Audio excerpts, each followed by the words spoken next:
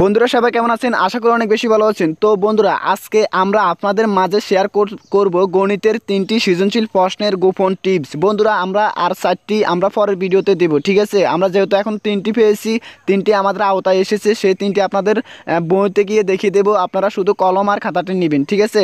এই প্রশ্নগুলো হবে ক, খ ও গ বিভাগের আওতায়। বুঝছেন? তারপরে বন্ধুরা, আমরা খ বিভাগের যে প্রশ্নগুলো পেয়েছি, এগুলা জানি না তেমন কমন আসে কিনা। তবে ক, গ গ, এই তিনটা বিভাগের একশো পার্সেন্ট শিউ তবে আমরা খ শিউ দিতে পারছি না, ঠিক আছে? তো আমরা এখন আপনাদের বইতে গিয়ে দেখিয়ে দেবো যে কোন তিনটা অধ্যায় থেকে আপনাদের তিনটি প্রশ্ন চলে আসছে, ঠিক আছে? তো ওগুলো আপনারা ভালোভাবে নজর দিবেন ও পড়বেন। তো এখন আমি আপনাদেরকে বইতে গিয়ে দেখিয়ে দিচ্ছি। তো তো চলুন শুরু করি। তো বন্ধুরা, ভিডিওটি শুরু করার আগে একটাই রিকোয়েস্ট করব। আমাদের ভিডিওতে লাইক দিন কমেন্ট করেন আর হ্যাঁ চ্যানেলটি সাবস্ক্রাইব করেন আমাদের আরও ভিডিও পাওয়ার জন্য এই ধরনের। তো চলুন শুরু করি। তো বন্ধুরা দেখতে পাচ্ছেন আমরা চলে আসলাম অষ্টম শ্রেণির অধ্যা নাম্বার অধ্যা শিরোনামে ঠিক আছে? মুনাফা নাম্বার যে অপশনটা দেখতে পাচ্ছেন বারো থেকে সাতাশ পৃষ্ঠে এখানে চলে যাবেন দ্বিতীয় অধ্যায়। দ্বিতীয় অধ্যায় মুনাফার এখানে যাওয়ার পরে আপনাকে কি করতে হবে? নিচে চ্যালেঞ্জ করে চলে যেতে হবে।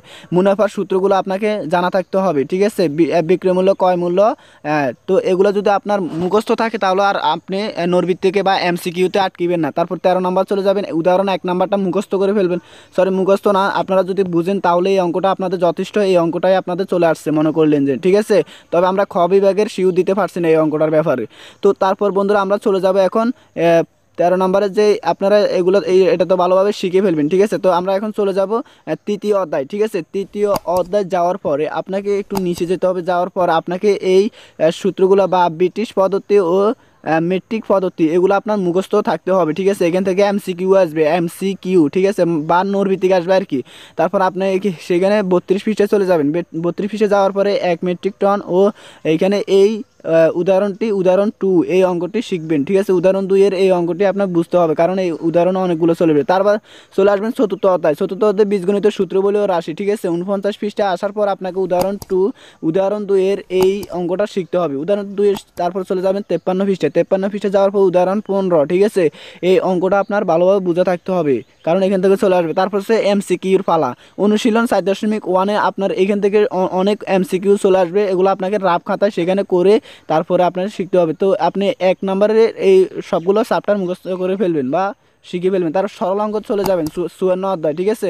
এইখান থেকে আপনি এই অঙ্কগুলো ভালোভাবে করতে হবে, ঠিক আছে? এগুলো আপনার ইনশাল্লাহ আপনার কমন প্রশ্ন চলে আসছে। সূত্র প্রয়োগ করে আপনি যে বীজগণিতগুলো করবেন সূত্র প্রয়োগে এই বীজগণিতগুলো আপনার ভালোভাবে করতে হবে, ঠিক আছে? তো এখানে এখন আপনারা চলে যাবেন এখানে দেখতে পাচ্ছেন, এই যে অঙ্কটা আমরা উপরে দেখাইতে সি এ সমান বি এবং বি সমান সিক্স। এই অঙ্কটা আপনি ভালোভাবে বুঝতে হবে, কারণ এর নিচে যেগুলো দেখতেছি ওগুলো থেকে আসবে এম সি কিউ বা নরবি থেকে আসবে, আর উপরেরটা আপনার সরাসরি চলে আসবেই আপনার গণিত ফসনে ঠিক আছে? এই সরল আমি আবারও দেখেছি চুয়ান্ন ফিস্টারের সেই অঙ্কটা আর তারপর পঞ্চাশ পৃষ্ঠে চলে যাবেন। যাওয়ার পরে আপনাকে উদাহরণ আট, ঠিক আছে? এখান থেকে আপনার এগুলো আসবে এমসিকিউ আকারে। হ্যাঁ বন্ধুরা, আপনারা এগুলো ভালোভাবে বুঝবেন, ঠিক আছে? আমি আবারও দেখিয়ে দিচ্ছি, চুয়ান্ন পৃষ্ঠার চার নাম্বার, এই অঙ্কটা আপনাদের বিশেষভাবে চলে আসছে। আমি একটু পড়ে শুনেতেছি এ সমান ফোর, বি সমান সিক্স এবং সি সমান টু হলে four a square b square এবং sixty a b b square c plus sixty b square c square এর মান নির্ণয় করো, ঠিক আছে? এটা যদি আপনি পারেন, কারণ এই রিলেটেড আপনার দুটোই অঙ্ক চলে আসছে, ঠিক আছে?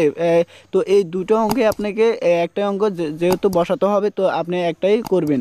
আপনি হয়তো অনেকগুলো পদ্ধতি আছে বিকল্প পদ্ধতি আছে ওগুলা থেকে আপনি শিখতে পারেন কোনো সমস্যা না তবে আপনাকে এই অঙ্কটা একটু ভালোভাবে বুঝতে হবে ঠিক আছে? আর নিচে যে পাঁচ নাম্বার ছয় নাম্বার সাত নাম্বার আছে ওগুলো আপনার এমসিকিউ আকারে আসবে বা আপনার নৈর্ভিত্তিক আকারে আসবে। তো ওগুলো আপনি খালি আহ, বরাট করবেন, ঠিক আছে? তো ওগুলো আপনার খালি ঘর বরাট বরাট করলে হবে। আর হ্যাঁ চার নাম্বারের এই অঙ্কটা আপনাকে ভালোভাবে বুঝতে হবে। আর হ্যাঁ বন্ধুরা, আমরা নিয়ে আসব যে এখন যে আমরা তিনটি প্রশ্ন আপনাদেরকে বলে দিচ্ছি তিনটি প্রশ্ন, এই তিনটি অধ্যায় থেকে ভালোভাবে শিখবেন। আমরা ষাটটি আর চার অধ্যায় থেকে চারটি প্রশ্ন নিয়ে আসব।